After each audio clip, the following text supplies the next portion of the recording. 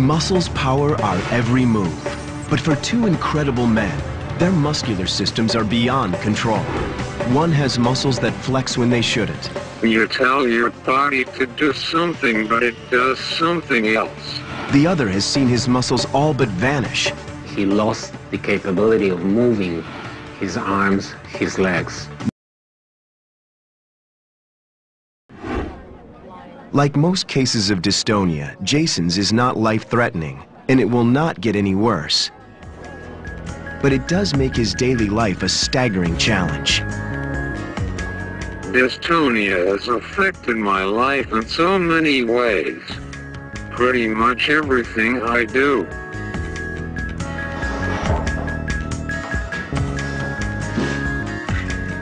But back home in Warren, Michigan, where he's been living on his own for a year, he muscles through his day with superhuman determination.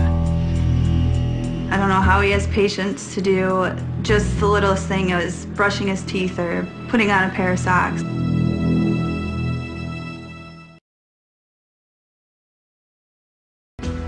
By the time Ami was an adult, the only body part below the neck he could move was one finger on his left hand.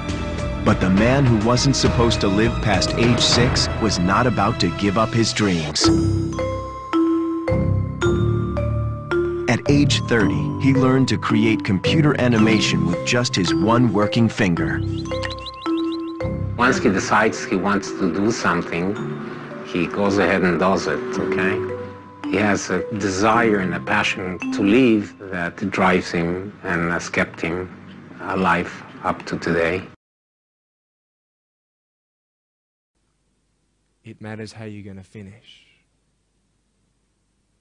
Are you going to finish strong?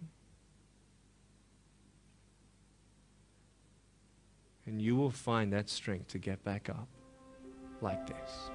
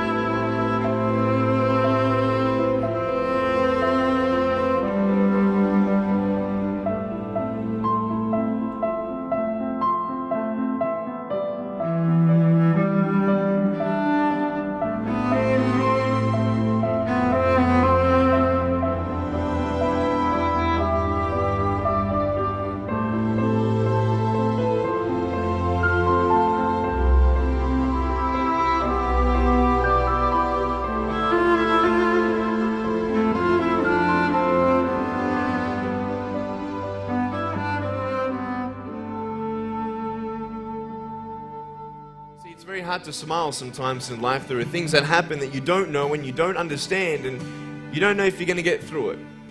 You know, you go through your storms in life, and you don't know how long this storm is going to be.